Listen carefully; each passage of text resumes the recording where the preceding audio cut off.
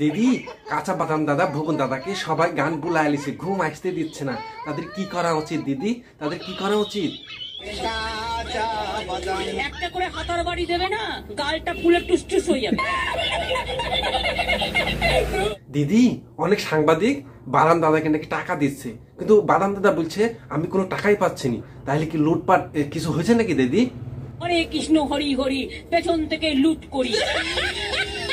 দিদি গরিব মানুষ দিদি একটা ব্যবস্থা করেন। দিদি গরিব মানুষ।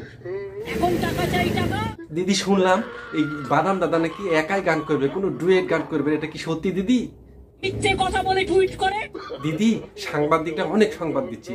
বলছে তারা বাদাম দাদার আর কোনো অভাব নেই। ফেক নিউজ করে। দিদি ভুবন দাদা তার ওই গান গানের জন্য কোনো টাকা পয়সা তো পাচ্ছে না অথচ তার গান নিয়ে অনেক সাংবাদিক এবং ইউটিউবরা লাখ লাখ টাকা ইনকাম করছে। সেই জন্য সে থানায় হেলমেট পরে কেস করতে গেছে। সে ঘটনাটা জানেই না। আপনি একটা ব্যবস্থা করেন দিদি আপনি একটা ব্যবস্থা করেন। এরকম অনেক কেস আছে কিন্তু আমাদের একটা সিস্টেম আছে।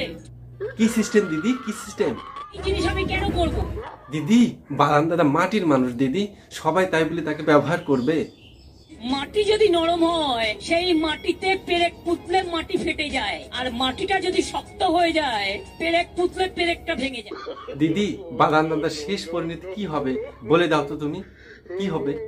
দিন এমন দিন আসবে না ঘাটকা না ঘাটকা হয়ে ঘুরে বেড়াবে। আসুন মানুষের কাজ করি। দিদি একমাত্র ইউটিউবারেরাই এই বাদামদাতার জন্য কাজ করেছে। সারা বিশ্ব থেকে ভাইরাল করেছে এবং পরিচিত করে দিয়েছে। কো- যা কোনো নেতা নেত্রী করে নাই। তুমি কি কিছু করবে? নেত্রী হিসাবে তুমি কি কিছু করবে? তাদের আমি নামের লিস্ট নিয়ে পুরস্কৃত করব।